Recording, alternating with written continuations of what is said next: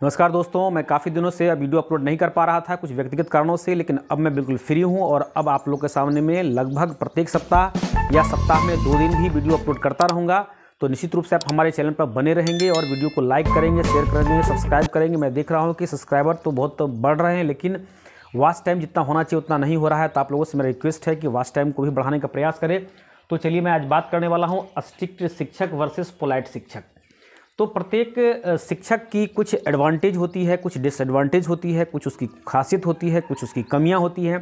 तो इन, इन्हीं विचारणीय बिंदुओं पर हम लोग आज विचार विमर्श करेंगे कि आखिर स्ट्रिक्ट टीचर की कुछ क्या विशेषता होती है, क्या उसके गुण होते हैं और क्या अवगुण होते हैं। तो सबसे पहले हम बात करते हैं disadvantage of strict teacher strict teacher का डिसएडवांटेज क्या होता है? तो मैंने लिखा है student don't free don't be friendly student don't be friendly चूँकि स्टिक टीचर के क्लास में स्टूडेंट उतना खुल करके नहीं बोलते हैं, वह शिक्षक के साथ उतना दोस्ताना व्यवहार नहीं कर पाते हैं। फिर है दे जे हैबॉक एमंग स्टूडेंट चूँकि स्टिक टीचर से लोग डरते हैं, इसके कारण जो है, सो क्लास में बिल्कुल एक डर का माहौल हो जाता है कि हैबॉक उत्पन्न होती है और विद्यार्थी बहुत सारी बातों को नहीं खुले फ्रीली नहीं पूछ पाते हैं। अनेबल टू आस्क क्वेश्चन उसी बात को मैंने यहाँ पर लिखा है दूसरे ढंग से कि जब कभी भी शिक्षक ऐसे टीचर टीचर पढ़ा रहे होते हैं तो बच्चा डर के वजह से यदि किसी स, कोई सवाल उसके मन में आती भी है तो डर से नहीं पूछते हैं। यह उसका डिसएडवांटेज हुआ। फिर है क्रैम लेशन वनली यदि शिक्षक कोई टास्क देते हैं याद करने के लिए तो बिना कॉन्सेप्ट को क्लियर किए हुए बच्चे सिर्फ़ उसको रट लेते हैं डर से। जिससे क्या होता है कि कॉन्सेप्ट क्लियर नहीं हो पाती है और इस वजह से यहाँ पर मैंने लिखा है bad effect in teaching learning process for weak student जो तेज स्टूडेंट होते हैं, उसके लिए तो कोई बात नहीं होती है। वह किसी चीज़ को ईजी वे में याद कर लेते हैं। बहुत सारी बात उसको समझ में आती है। लेकिन जो कमज़ोर स्टूडेंट होते हैं, उसके लिए जो स्टिक टीचर होते हैं, वो काफ़ी बैड इफ़ेक्ट डालते हैं टीचिंग लर्निंग प्रोसेस पे। तो इस तरह से हम लोगों ने ये पाँच बिंदुओं पर चर्चा किया कि जो स्टिक टीचर होते हैं, उससे क्या क्या नुकसान होता है।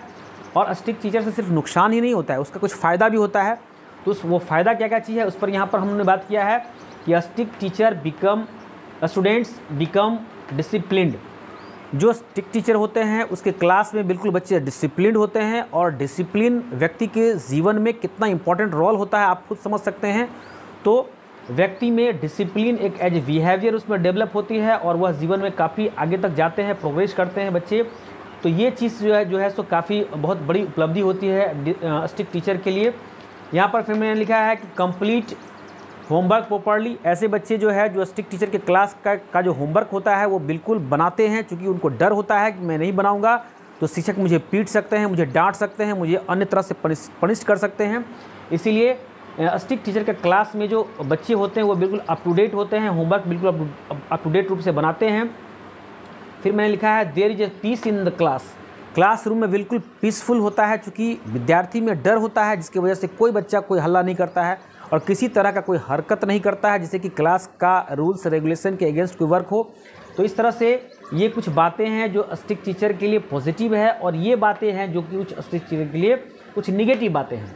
अब मैं यहाँ पर बात करने वाला हूँ कि जो पोलाइट टीचर होते हैं, उस पोलाइट टीचर के क्लास में क्या क्या उनमें क्या डिसएडवांटेज होती है और क्या एडवांटेज होती है, इस पर भी मैं बात करने वाला हूँ। तो यहाँ मैंने लिखा है student make a noise in the class student class में हल्ला करते हैं, जो स्टिक टीचर होते हैं।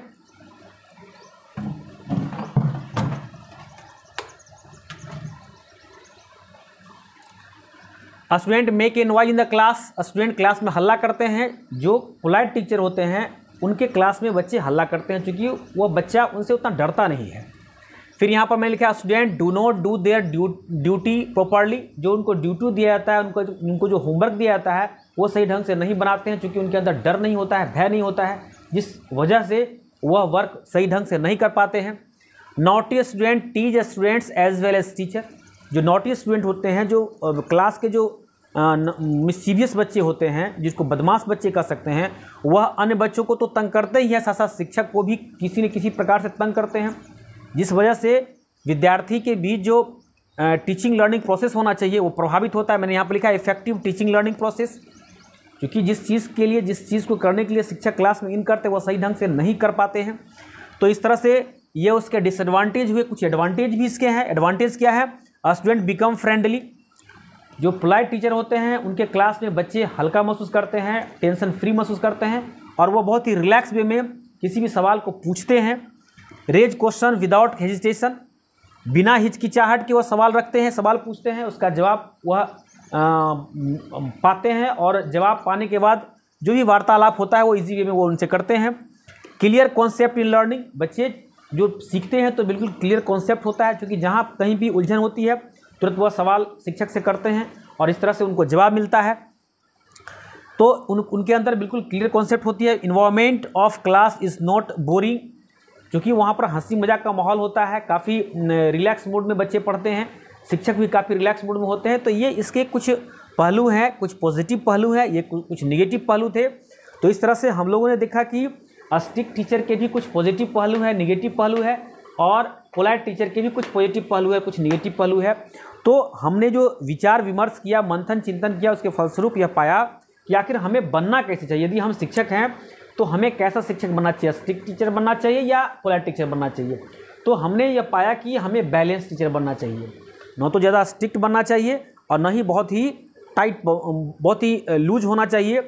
इसलिए यदि कहा भी जाता है कि यदि वीणा का तार को कस, यदि लूज छोड़ दोगे तो भी आवाज़ नहीं निकलेगी और यदि कस के अगर खींचोगे तो टूट सकती है।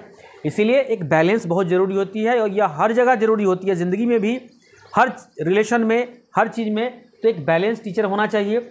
इसमें दो चार पाँच गुण मैंने बताया है कि डोंट बी हार्डली, और हार्डली स्ट्रिक्ट और लूज। न ही बहुत हार्ड होइए और न ही बहुत लूज होना है। एक बैलेंस बना के चलना है। और बैलेंस बना करके यदि हम चलते हैं तो हमारा जो प्रोडक्टिविटी है वो रेट बढ़ जाता है। ऐसे देखा जाता है, रिसर्च में कहा गया है कि पोलाइट जो टीचर होते हैं, उस पोलाइट टीचर के टीचिंग लर्निंग प्रोसेस का जो प्रोडक्टिविटी होती है, वह लगभग 60 परसेंट होती है।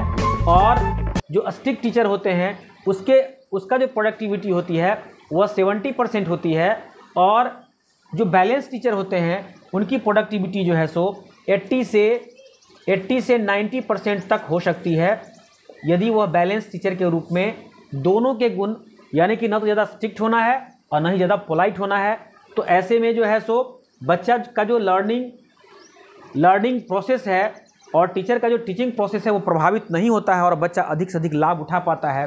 तो यहाँ पर मैंने लिखा है डोंट बी हार्डली स्ट्रिक्ट और लूज फिर मैंने लिखा है कमांड ओवर टॉपिक जो भी टीचर जाते हैं क्लास में जो बैलेंस टीचर अपने आप को समझते हैं तो उससे पहले जो टॉपिक लिख करके जाते हैं जिस टॉपिक को, को पढ़ाना होता है उस पर बिल्कुल कमांड होना चाहिए ताकि बच्चा किसी भी तरीके से प्रश्न को करे उसका जवाब जो है सो हर तरह से फ़नी मैनर में सीरियस मैडम मैनर में हर तरह से दिया जा सके। फिर यहाँ पर मैंने लिखा है नो बडी क्रॉस लिमिट क्योंकि मर्यादा बहुत ज़रूरी है। शिक्षक का एक अलग एक मर्यादा होती है और विद्यार्थी का भी एक मर्यादा होता है। मर्यादा को क्रॉस नहीं करना चाहिए। यहाँ पर देखिए मैंने एक डायग्राम के, के माध्यम से बताया है कि बीच में शिक्षक है और यहाँ पर ये जो ये जो लाइन मैंने खींचा है ये एक रेखा है सीमा रेखा है। इस सीमा रेखा को क्रॉस करनी नहीं करना है। यदि विद्यार्थी है तो विद्यार्थी को समझना है कि मैं विद्यार्थी हूँ और शिक्षक को भी समझना है कि हम मैं एक शिक्षक हूँ और दोनों को एक दूसरे को सम्मान करना चाहिए। तभी जो है सो हार्मोनल क्लास चल सकती है। सिर्फ़ दोनों का उद्देश्य याद रखना चाहिए, विद्यार्थी को यह सीखना चाहिए, यह ध्यान रखना चाहिए कि मैं क्लास में इन किया हूँ कुछ सीखने के लिए और शिक्षक को यह ध्यान रखना चाहिए कि मैं क्लास में इन किया हूँ कुछ सिखाने के लिए। तो इस तरह से यदि कोई अपने अपने लिमिट को क्रॉस नहीं करेगा तो निश्चित रूप से बेहतर जो रिज़ल्ट है, जो प्रोडक्टिविटी है, वो हमारे, हमें मिलेगी।